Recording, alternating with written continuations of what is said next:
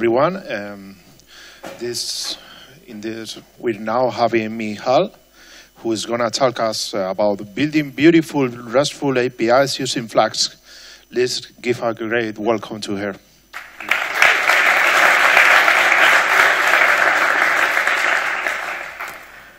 Hi, everyone. Thank you for coming to my talk. Um, I'm going to say a few words about myself first. My name is Michał. I write a blog, which you, are welcome to visit.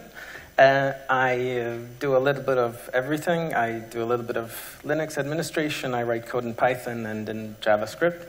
And I'm currently working at Intel as a tech lead for a web UI team. So before I begin uh, the actual subject of, the, uh, of my presentation, I want to get an overview of the room. How many of you know what REST is already? Okay, that's nearly everyone. How many of you know what Swagger is? Okay, that's fewer. All right, I'm going to give a few uh, introductory slides for everybody who didn't raise their hands. And let's uh, begin with the definition of what an API is. When we're building uh, modern web applications, then they usually have a component running in the browser. If it's interactive, it's usually powered by JavaScript. We may have a client uh, on the mobile uh, space, so on a phone or on a tablet. And then, of course, we have our server with all the data and the databases. And in order to get these things to talk to one another, we need a way for them to communicate, which is the API. And what is REST? For REST, stands for Representational State Transfer, which sounds complicated, but in reality, it's just a clever way to use HTTP to build APIs. So in order to talk about REST, we need to talk about HTTP at least a little bit. So the basics are, like everybody knows, that client sends a request and the server sends back a response. But both the request and the response can be further subdivided into these parts. The method is things like get or post. They decide what will happen when the server gets the request. So get traditionally was to fetch a resource from, uh, from the server. Post was used to submit data in a form. But there are quite a few other methods that can also be used. Then there's the path. Traditionally, it was a path to a file on a server. These days, it's actually, a, in, in case of RESTful APIs, it shows us which endpoint we're going to use. And there, then there's also the query, which goes uh, into the same uh, line with the path, and there we can specify parameters. Then we have headers, which uh, is the place we, through which we send cookies back and forth. And then there's the uh, body of the request, which, in case of uh, the RESTful APIs we'll be talking about, is going to contain JSON. Uh, response is simpler slightly. It only has one field in the top row, which is the status code. That comes back with 200 if everything is okay, usually. Uh, it may come back with an error message like 404 or 500. But there's a long list of other status codes that, that, status codes that are defined in HTTP, and these can also be used. So REST is a convention which we can, through which we can use HTTP to access methods of our API. These are usually divided uh, into collections, items, and uh, a special entity called the controller. So the collection and the item endpoint, like in our example, the collection is just books. It allows us to um, fetch a list of books from our API by issuing a GET request to that endpoint, or to create a new book by issuing a POST request to that endpoint with information about uh, the new book that we want to create. An item uh, has an endpoint with an ID, so in our case, slash book slash 123, 123 identifies a, a, specific book. And this allows us to perform uh, operations on a particular book. So if we issue a GET request, we'll get this information about this book. If we use a put request, we can update the book or delete it with a delete request. So these are all the CRUD, create, update, read, uh, delete operations. But oftentimes we need to issue other, more specific instructions uh, to our API, and for that we can use a controller which can have an address like in this particular case, book ID borrow, and this allows us to, for example, borrow a book from a library. So that's all the introduction now out of the way, and we can move on to talking about uh, some, some Python libraries. The slides I'm going to be showing, the code samples I'm going to be showing you, uh, are all based on Flask. Uh, so Flask is a web micro framework. How many of you know Flask? Great. Okay. So, so Flask is a, is the micro is a micro framework. So in itself, it uh, is not very opinionated and it doesn't do very much for you. But it has this whole ecosystem of uh, extensions that you can use with it. And the real hero of our story is this extension to Flask, Flask REST Plus. And uh, it handles a lot of the common um, common tasks we have to do to define an API for us. So uh, it validates input and gives us errors if there's anything wrong with our input.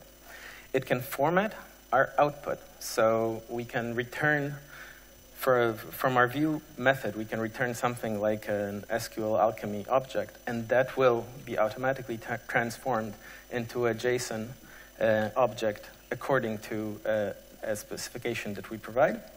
It can uh, even turn Python exceptions into HTTP responses. So we don't need to worry that if we raise an exception somewhere that it's going to return a 500, we can catch it and turn it into a, a specific error message like 404, I couldn't find what you were looking for.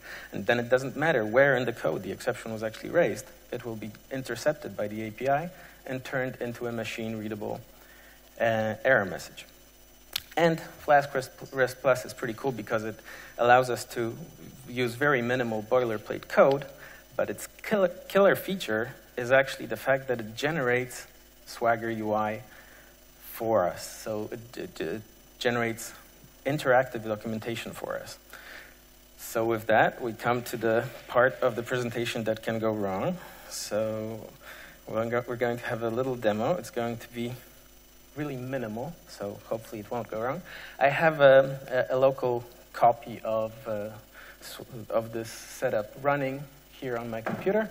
So I'm just going to go to the URL of the API, and what we get is a list of all the methods that uh, I defined in, um, in the API. So this is just a sample for some, some blog categories and posts.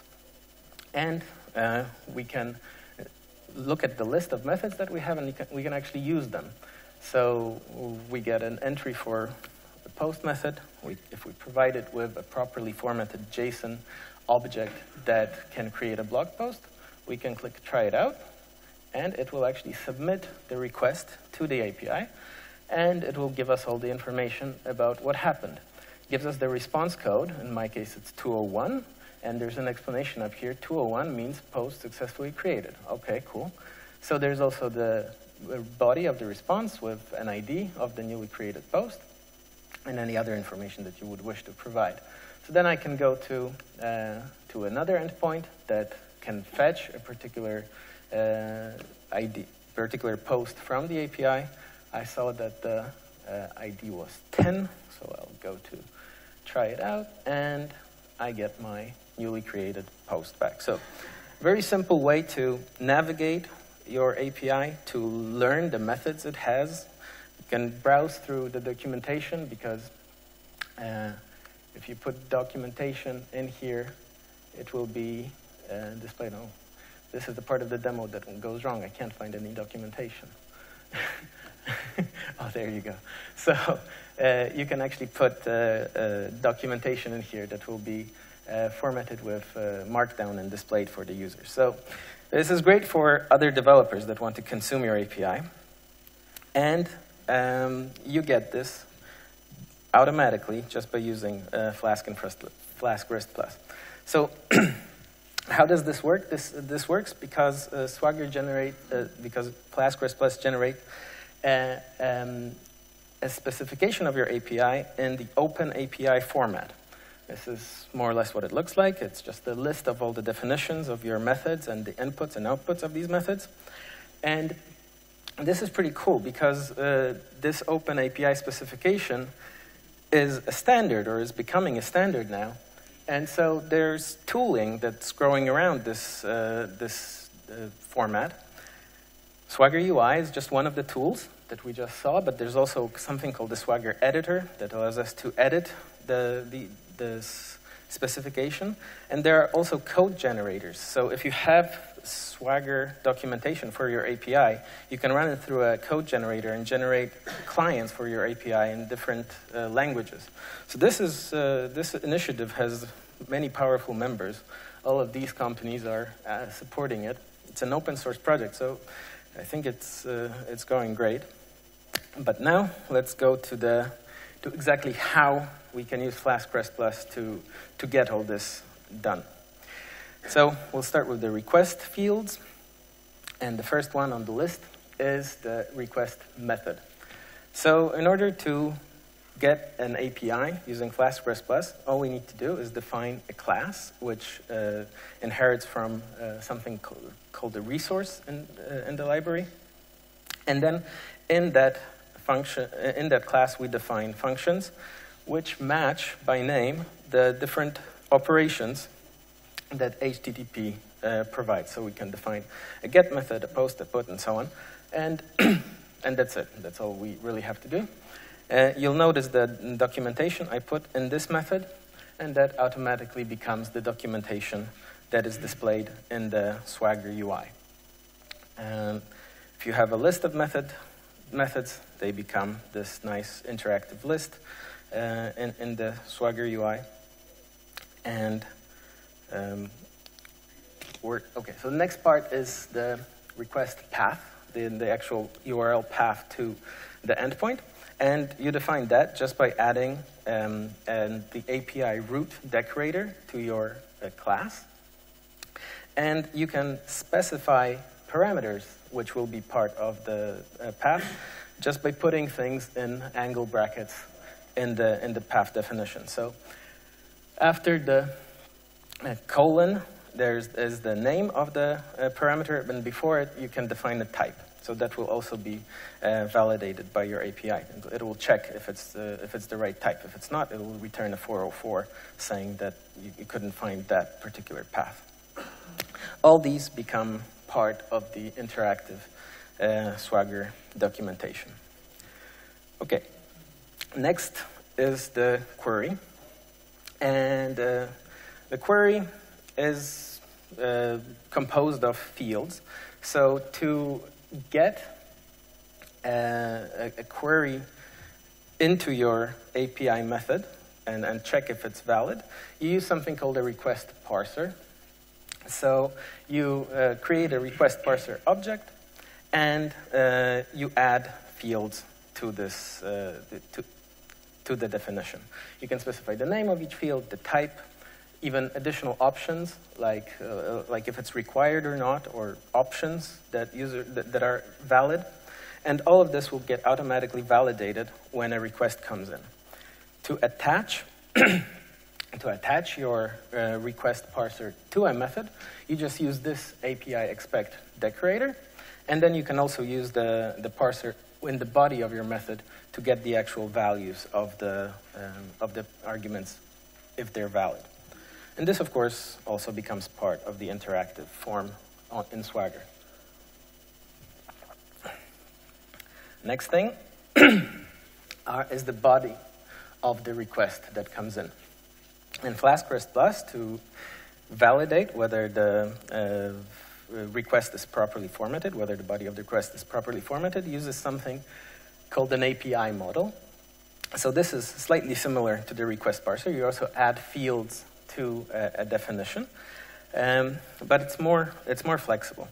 And uh, that's how a basic example looks like. You, you use the API expect decorator to attach it um, to a method.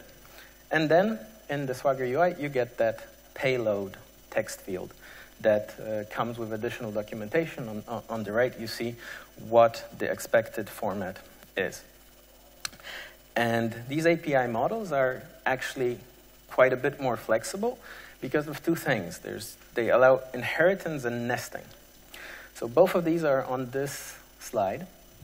You see that first I'm defining a model called category, and then a model called category with posts. Because I'm using the API inherit method, the category with posts model will inherit everything, every field from category. So automatically it will include all the fields from the, uh, from the model that's specified at the end of the line. And it will also include these additional fields that I'm providing it in the inheritance method. And the field I'm actually extending this model with, called post here, is a nested field, which is actually a list of nested blog posts. You can see it's actually quite easy to read, a list nested blog post. So this model will expect to get um, a, an object which contains a list of other objects. And the, this works very well for more complex cases. Uh, we can go on to the response, uh, fields of the response object. The status can be documented uh, by just adding uh, an API response uh, decorator to either the resource class, if it's for if it applies to every endpoint um, in your entire resource, or to specific methods, and then that's enough to get the documentation. And um, at the end, you see there that to return a particular um, status code from the API, all we need to do is to return a second, um, second value from the method, and that's a Flask convention that if it's a number, it will become the actual HTTP status code. So that's what a table of uh, documented responses looks like. And the last on our list, the last the part of a response that I'm going to talk about is the body. And you use the same API models to format your output of your, uh, of your API methods. So you can actually use them both for validating input and formatting output. when you're actually outputting something from uh, your API, you may point to a different attribute on your, uh, on your object than the one that you want to have in the output. So like in this example, I have category underscore ID, which is just an integer, but it comes from uh, an object within, uh, which is linked to my, it's an SQL Alchemy object that, is, that has a relation to my blog post called category, that has a field called ID, and we can actually use a whole uh, string of fields connected by periods to, to show the path to get there. And if it's more complicated than that, we can uh, use a callable to quickly calculate the value of the, uh, of the field that we want to output. To tell our API that we want to use this model for uh, formatting the output, we use the marshal with decorator, or if we are planning to return a whole list of uh, items from our, uh, from our API, then we can use the marshal list with uh, decorator. And that's all you need. That's going to automate the output. It's pretty cool, actually. Okay, so last but not least, uh, we can tell the API to handle exceptions for us. This is how, uh, this, is how this can be done. You uh, use the API error handler decorator on a method to specify that this will be your error handler for this particular type of error. So like I mentioned before, if we, if we use this error handler, then wherever in our code we get a no result found exception, wherever that is raised, that will be caught uh, before uh, the, the API returns. And in this case, it will log a warning and then return a 404 message. If we don't catch an error, and we're running in debug mode locally, then we get something that's also pretty cool, an interactive debugger which runs in the browser and uh, this is part of Flask. This is not part of Flask REST Plus. Actually, I think it comes from Werkzeug. Anyway, this, you get this uh, you get this interactive debugger which runs in your browser, and you can type code, Python code in here and see what's what's going on, without ever leaving um, without ever leaving the browser if you want to. So. This was my rundown of uh, all the features that Flask REST Plus provides. So now how much would you pay? Because all you need is 10 lines of code to get started with this. This is like a minimal hello world uh, API that will come with all the features that, that I described. There's a more complete um, uh, code demo and an article about all this on my blog. So if you, if you go there, you, you can download the demo I showed you and read a little bit more about the things I said. Thank you.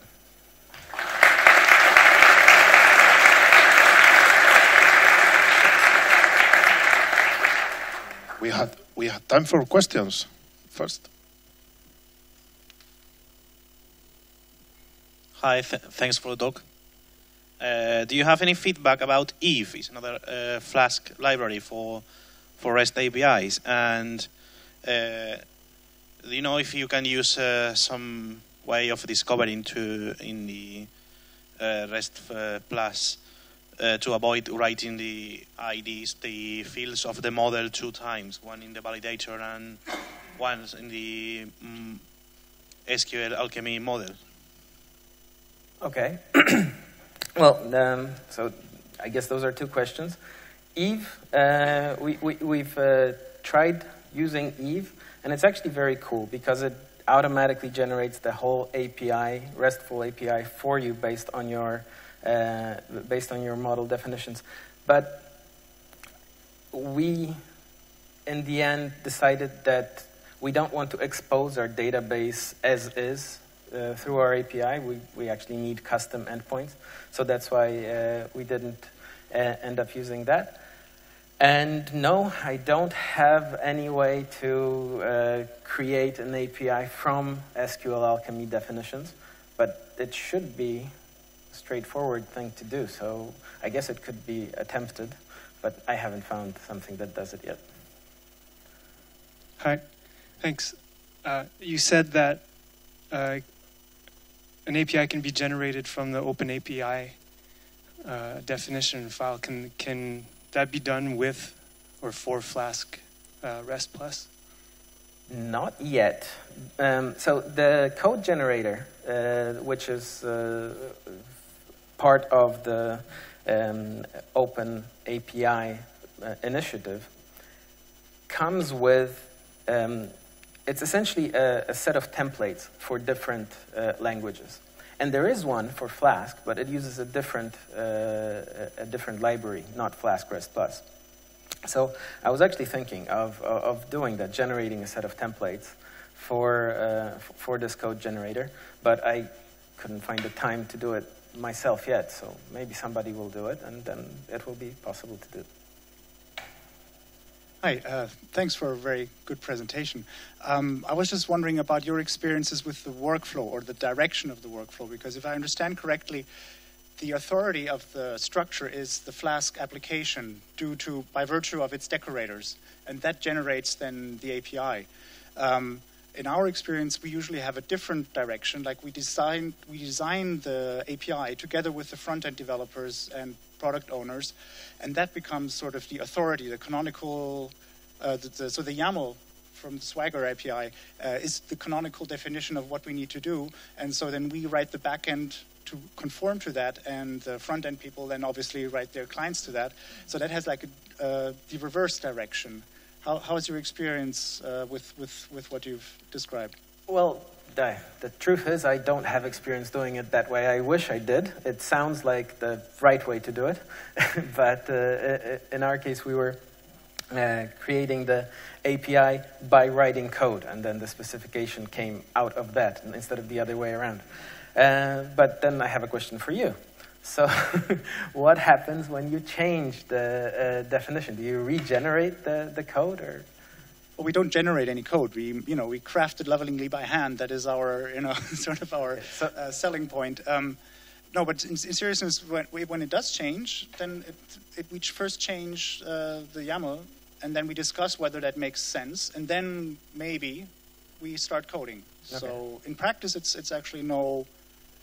I don't care if I have to rewrite something then, because there's now now there's a good reason. Okay. Yeah, but you, then you have to keep them in sync, right? Yeah, So- I, I find that's just, that's just less, lesser of two evils. Okay. Fair enough. Uh, one last two question. One fast. Hey, thank you for your talk. Um, does Flask REST Plus provide anything for hyperlinking to related resources at all? Not out of the box. The, we uh, ha- had to implement our own logic to do that. That's all our time. Uh, we could chat um, later. Thanks, to the speaker again.